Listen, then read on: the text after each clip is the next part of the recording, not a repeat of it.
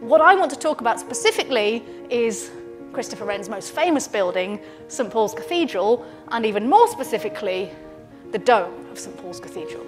So that was the decision for the, for the dome that we all see, a hemisphere. But there's a slight problem. There's a slight problem with a hemisphere because it's not actually a particularly strong shape.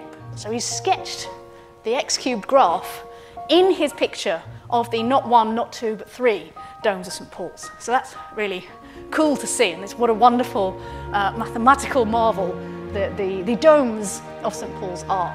You've got a catenary, you've got a cubic, you've got a hemisphere. So Christopher Wren then, architect yes, but look how mathematical his work is.